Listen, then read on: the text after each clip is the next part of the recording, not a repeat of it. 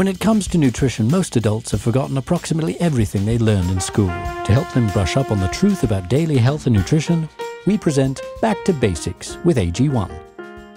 Do you want vitamins and minerals that might get peed right out? Or ones that your body can actually use and absorb? Yeah, then you probably want to learn about bioavailability.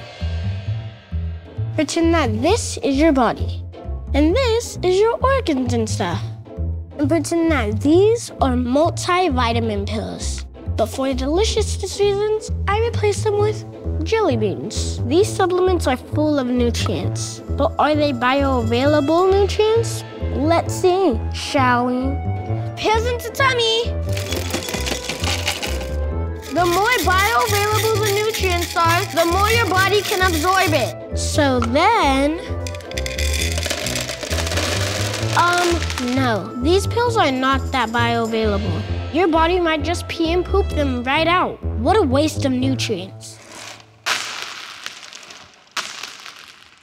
Now pretend that this is a serving of AG1 Next Gen, the daily health drink, with a demonstrated bioavailability. Bottoms up.